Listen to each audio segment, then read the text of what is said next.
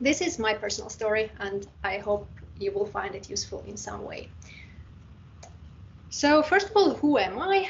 I'm a lead cloud software engineer here at Solita, and I'm also part of a customer data team at Yle, which you probably know is uh, Finland's national public broadcasting company. So that's one of our customers, and I work with them. And I've been working with um, cloud and mainly AWS for the past several years. There has been some certifications and stuff, and the latest was the data analytics certification that I got pretty recently. And uh, also for about a year now, I have been a member of the AWS Community Builders Program, which is a program created by AWS for the AWS enthusiasts and active community members. And it used to be invite only, but now anybody can apply to it. So if this sounds at all interesting, please go check it out and apply and maybe you will become part of the community as well because it's a lot of fun actually. And lately I actually had an honor to be listed among the top global cloud thought leaders as a next generation leader uh, by Whizlabs. And this came really as a complete surprise. But as I said, it, it was a huge honor and kind of a, a very uh, great appreciation of what I have been doing lately. And there might be some other things coming to this list, but I can neither confirm nor deny them at this point. So if you're interested, just follow me, for example, on Twitter, and you will soon learn more. And yeah, no presentation can go without a picture of my cat Lizzie. So she's always here helping me with all the presentations by just sleeping next to me. So meet Lizzie as well. But maybe rewind a little bit and, and see how did I actually end up where I ended up. And well, maybe we don't need to wind back to that far, but I kind of like this picture of me as a very serious two-year-old. So I guess I was pretty serious back then. But around the same time, when I actually was six years old, um, I saw my first computer and it had an MS-DOS paintbrush installed on it. And now I might be revealing my age here, but who cares?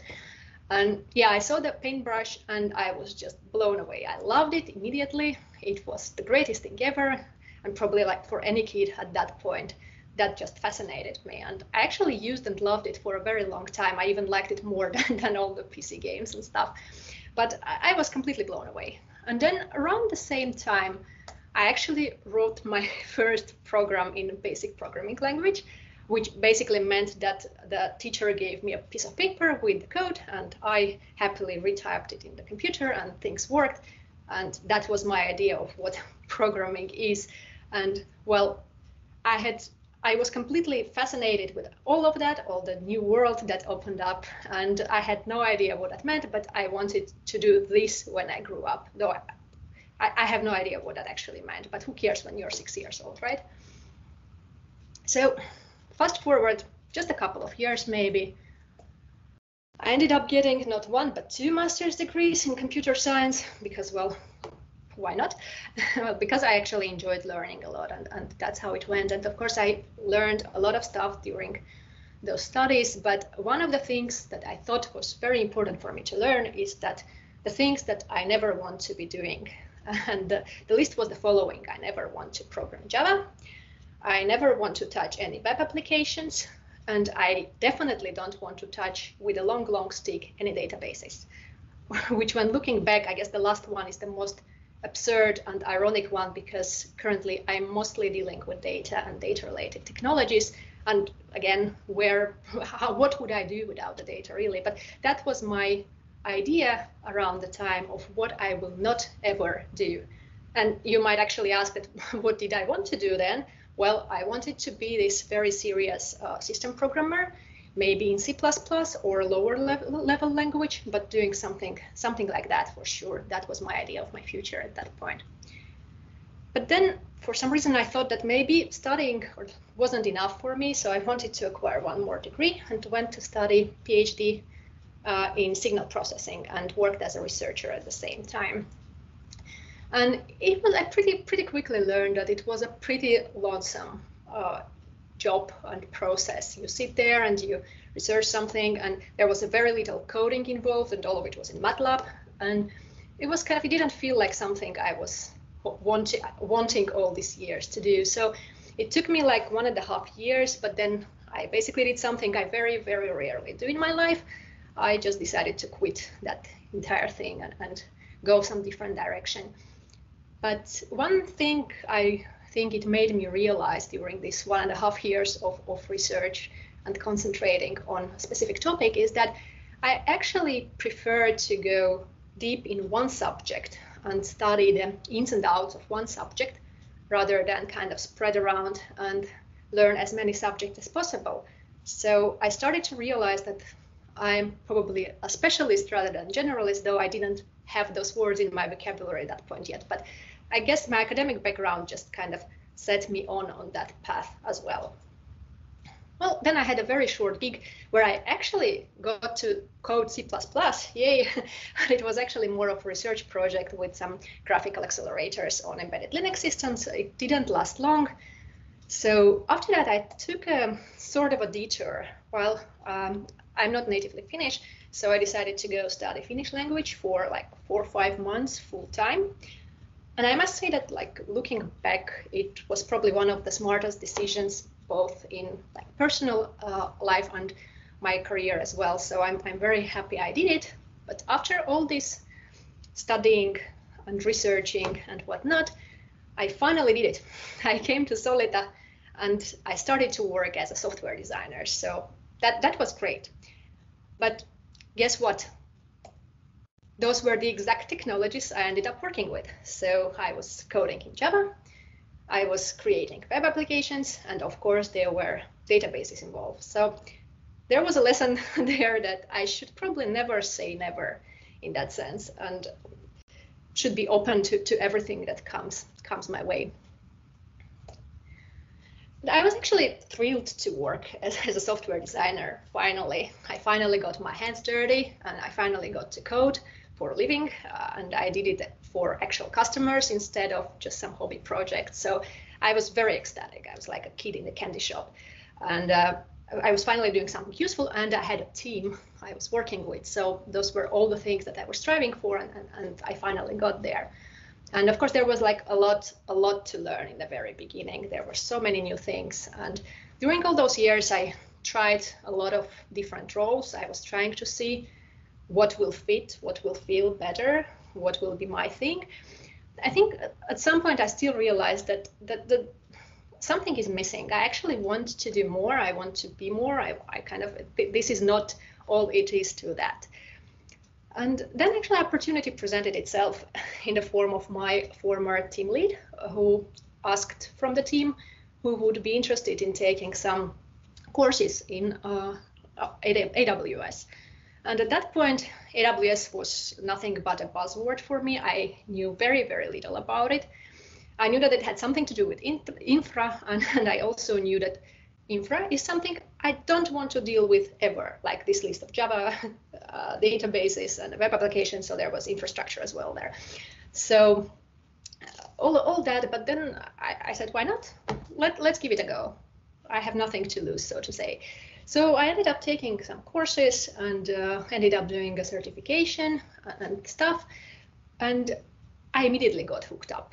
I basically was very, very, very into it first thought was that do other people know that this thing exists? It's so cool. Why, why don't we all use it? And, and things like that. So i was very very excited. And it also uh, expanded expanded my horizons quite a lot. So I, I started to do so much more than i was doing before. And there were so much new things like data engineering and like the cloud architecture and, and like aws itself and the microservice architecture and stuff like that. So it, it opened up the horizons quite a lot for me but I think like the most um, useful thing or the most valuable thing for me that came out of that is that uh, I became a member of AWS Community Nordics here, here in Finland. So the thing was that I started something from scratch. So I knew nothing about the subject. I again was feeling kind of stupid and starting to learn from scratch. So I needed the community to learn from and I needed as much information as I get. So I started to go to different meetups uh, in Helsinki, in Tampere, and listening to the presentations that the people were giving about their work and the things that they have learned and, and uh, trying to learn from them. And then at some point I thought, well, by now I have learned maybe a thing or two through my project. So I might try sharing it with others because it might be beneficial to other people as well. So others might learn from that as well. So I, I decided to, to, give it a go and, and kind of gave a talk at the uh, local meetup in Tampere. And then I got a pretty good feedback. So I decided, well, why not? I'll try it again and, and, and did a bit bigger meetup in Helsinki. Sorry. And uh, then there were some internal events. Then there was Solitacore and stuff. And then there was like my first big international event, which was the AWS Community Day Nordics in, in Stockholm. Uh, well, I was terrified. it was a big stage. There were a lot of people that were sharing stage with me who I admired before. So I, I was very kind of ecstatic and very nervous about it, but it opened a lot of possibilities for me. And after that, things just came keep on coming, and uh, I participated in some podcasts and wrote some blogs and uh, I actually had a couple of conferences, international conferences, where people actually had to pay to listen to me speak, which was completely outrageous for me. Like, who would pay to listen what I have to say? But then it would, well, of course, they didn't pay me; they paid the organizers of the conference. But still, it was kind of some something new and still blows my mind till this day. And then there were other other events and podcasts, and actually ended up kind of speaking at the podcasts that. Uh, I was listening from the very beginning of my cloud journey. I was listening to the podcasts, and I was always in awe of this. Um, uh, of the hosts of the podcast, so they were my personal heroes, and then I also always admired the, the guests and all. And all of a sudden, I was one of the guests on the podcast, so it was pretty kind of mind blowing for me. It still is really, and all in all, I pretty much ended up loving all of it. Though I must say, it is nerve wracking every single time I have to get on stage or even in front of the computer. And it's always a lot of work, but still, I love, love, love it. And uh, one of the reasons for that is a saying that I, I like very much. And it goes like that uh, if you want to learn something, you read about it. If you want to understand something, you write about it. And then if you want to master something, you actually teach it.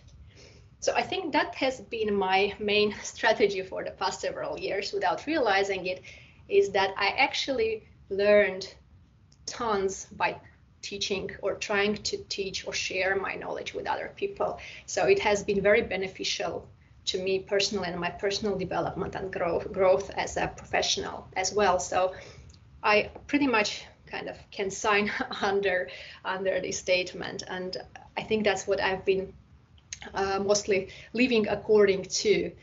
And um, I must say that never in a million years have I thought that I will end up where I am currently, and I'm pretty happy about where I am at the moment. But it brings me probably to the things that uh, people uh, say or think about the career development. And I don't think they worked for me or they work for me or they don't work for anybody, I think, that that well. and uh, one of them is that the question that you probably heard, all of you, it's the, one of the most popular questions during the job interviews is, where do you see yourself in five years? So I guess the assumption is that you need to have this grand plan and this idea of, of where are you going and uh, like a five-year plan, how to get there. And if you don't, then somehow you are not fitted for the position. Well, you know what? I don't think this is right, or actually, I think it's bullshit. because, well, I personally don't know where I'm going to end up five years from now, to tell you the truth. And that's a great thing. Because if somebody would have told me like five years ago that, hey, this is the place where you need to be in five years, or you want to be in five years, I think I would be so overwhelmed that I will be just paralyzed and not able to do anything. So it's kind of, it takes you small steps to get where you are. And you don't necessarily need that grand plan to get there. And as Artos was also saying that it's not a linear development that happens in our career. Like for me, it was more of a this random, you know, Brownian motion of a particle suspended somewhere. So I, I was going in all possible directions that felt right at the moment. And I ended up somewhere. Probably this is not, of course, the end of the journey, but I'm here now and I'll go some other direction from here. So I personally have no idea what I'm going to do in five years. The other one, also pretty common belief, I think, is that somehow your title, job title, defines what you do or what you have to do, or it limits where you can grow or what you can be interested in. And I think it's not true at all. Actually, I think no title, no word or combination of words or no label should define us in any way possible. So we choose where we want to move despite the title and we grow the direction we want to grow. We don't pay attention to title that we have. And actually, I basically defined my own title. I came up with my own title, and that's the title that felt right at that particular moment. It probably won't be right in several years, but now it is, and and still, even with that title or without, I will still be doing the things that I like and I think are good for me to do. Which actually brings me to to the last point uh, of what actually Arto also mentioned in the Q&A part, but I think the very or the most important thing and the one thing that matters the most is your passion, like finding what is that passion of yours, find that thing that sparks joy for you in your work. And for me personally, goal was never to become a senior or a lead or get a better salary, though of course those are nice things and they come along with it. But the goal for me personally was to find something that feels mine and the thing that I can excel at and I can improve in constantly. And uh, at the moment, it's AWS and it gives me possibility to learn a lot. And also, on the other hand, it's also helping others to learn, which has been a, a kind of a joy and a passion and, uh, and a very rewarding things, thing, as I told you already. But that's me. I mean, the passion can be really anything. It can be databases or programming languages or some specific tech or agile. I mean, you, you pick whatever you want to. The most important is that you really feel for it. And um, uh, I think to get there, to find that passion, first and foremost, you need to be open and never say never, as I used to do, probably still do, but never close the doors before yourself, before even kind of entering them a bit.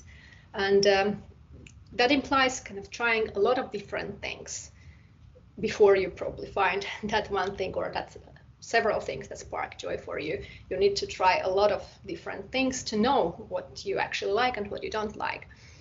And one part of it is, is that you shouldn't be afraid to start something from scratch. And this is surprisingly difficult, especially if you're somewhat senior, so you have had already a long background, you know your thing, you are very good at your thing, and then you need to start something completely different. So it is very uncomfortable and it is very difficult. And you probably are going to feel stupid in the beginning. I know I, I have, but uh, and you will feel like you know nothing but I, I personally think that's a very good thing, and that's the place where we start growing, and that's that's the feeling that we need every now and then, a feeling of us not really knowing anything, and that, that's a very very important thing for me personally. And finally, my personal personal kind of uh, experience says that just say yes. Say yes as many times as possible because the possibilities come your way all the time in, in all shapes and forms. It can be a new project, or it can be a new technology, a book to read, a course to take, a person to meet. Uh, there are so many different kind of doors and small windows around us that we maybe don't even notice. But most important is to to say yes to, to as many of them as possible, just to find that thing that you want to do. And I must say that for me, this is totally like it's, it's very difficult.